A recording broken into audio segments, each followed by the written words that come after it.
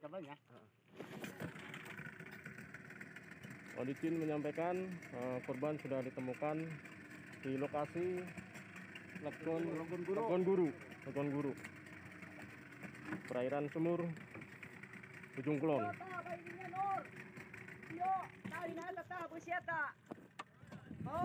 Ini kamu dekat. Dalan wong, mesti kaya karang wong.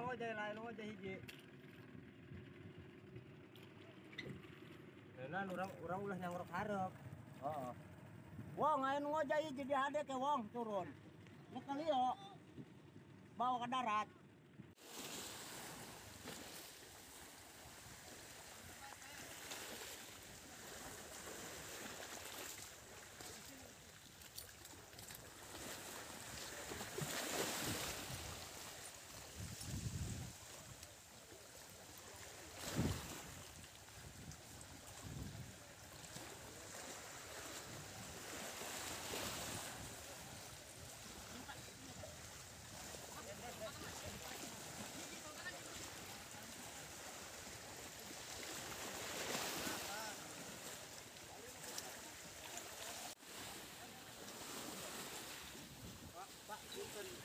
Mana?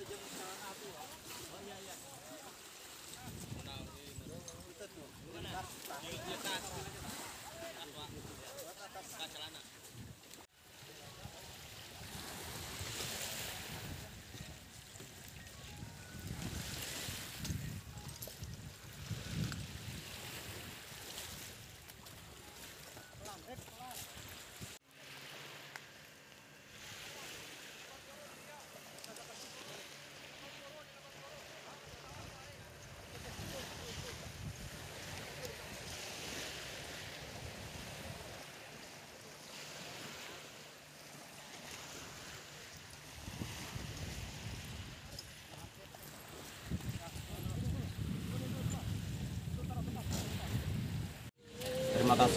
Kepada tim eh, Basarnas sekarang, sekarang untuk membantu eh, tentang adanya korban keluarga kami dan kami sekeluarga atas nama keluarga eh, mengucapkan banyak terima kasih yang sebesar-besarnya atas bantuan kerja dan semangat tim Basarnas untuk eh, mengevakuasi atau menemukan tentang adanya suatu eh, jenazah ataupun korban eh, tenggelam.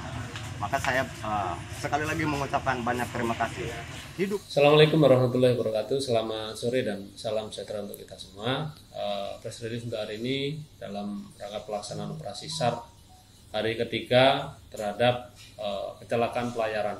Ya, satu orang nelayan yang jatuh ke laut atas nama Udin Nurdin, usia 49 tahun, uh, alamat uh, Kecamatan Sumur, Kabupaten Pandeglang.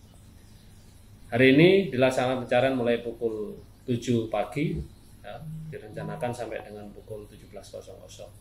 Nah, Alhamdulillah pada pukul 16.50 waktu Indonesia Barat, eh, korban telah berhasil diketemukan oleh tim SAR gabungan mengapung kurang lebih sekitar 2,36 nautical mile dari lokasi kecelakaan ataupun lokasi jatuhnya korban. Nah, korban kemudian dibawa eh, ke rumah duka dan tim SAR gabungan melaksanakan debriefing eh, kemudian seluruh unsur yang terlibat dikembalikan ke satuannya masing-masing dengan ucapan terima kasih. Eh, Dengan ditemui korban maka operasi SAR dinyatakan selesai dan diusulkan untuk dilakukan penutupan.